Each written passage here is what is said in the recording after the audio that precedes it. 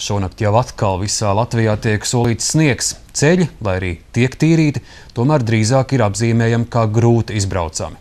Salīdzinoši labāka situācija ir Kurzemē, bet vissliktāk Latgalē. Tur arī vairākos rajonos jau kopš vakar vakar būtiski traucēta energo apgāde. Turpina Miroslavs Kautis. Atkal un vādu aplēdojums atnesa pirmos bojājumus elektrolīnijām. Šodien agri no rīta elektroapgāde bija traucēta aptuveni 20 tūkstošiem maisēmniecībām Latgalē un Vidzemē. Visu dienu Latvenergo brigādes turpināja darbu, un līdz 6 vakarā elektrības vēl nebija aptuveni 11 tūkstošiem klientu.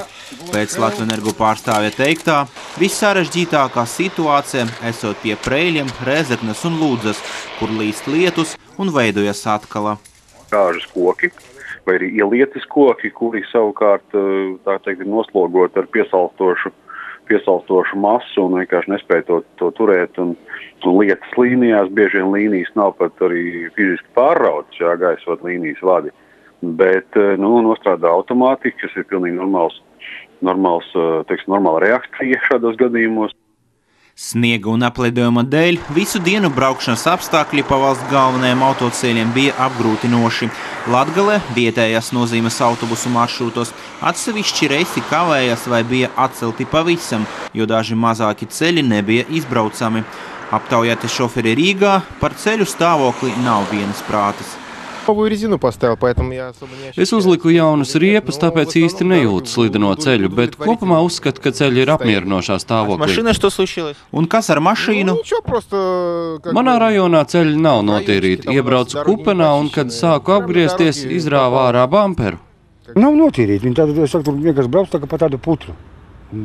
Labumu tur burtiski nekādu. Es saku, nu, mašīna lūst kraks kaut kas tur tā šauja un tā tālāk. Es no tās puses, no ķekavas puses mums labi viss tur iztīrīts. Slīdeni nav? Nē. Nu nav, viss kārtībā, ceļi tīri, tāpat tāds kā te. Pēc sinaptiķu prognozēm sniegšana šonakt gaidāma gandrīz visā Latvijā. Arī gada izskaņa Latvijā būs augsta un sniegota.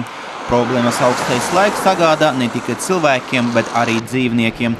Kā liecina cilvēku novērojumi, daudzi meža zvēri ir savainojuši kājas pret aso ledus garozu, jo mežos ir redzamas asinspēdes.